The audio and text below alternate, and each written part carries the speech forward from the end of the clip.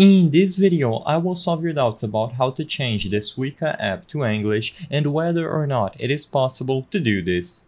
If you are trying to acquire a digital Suica card, you might be wondering if it is possible to translate the Suica app, which is completely in Japanese, to English. Maybe as a tourist, you are going to be staying in Japan for a while, you would like to get the English version of the app to manage your digital Suica card.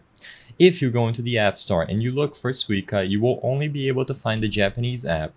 As it stands today, there used to be the English Suica application, known as Suica Eng, as you can see on screen. However, this version was removed from the App Store and it became obsolete. So as of today, is there any workaround to this and any method to translate the Suica app in its entirety?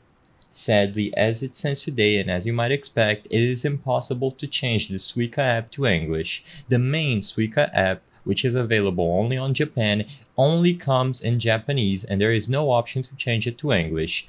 As of today, because of the fact that you are able to easily link your Suica card to an Apple Wallet or even a Google Wallet if your phone is from Japan, they do not offer the option to change the app to English. It is expected that if you are going to be traveling to Japan and you don't use the latest version of the Suica app, maybe because you don't speak fluent Japanese, you will be using the Apple Wallet or Google Wallet versions of the digital card instead. So as of today, they do not offer you the option to change this Suica app to English. The purpose of this video is not to spread misinformation, but to let people be aware that the Suica English app was discontinued and the Suica Japanese app does not give users the option to change to English. All that they have to do is instead of using the app, just go directly to your wallet of choice and manage the card from there.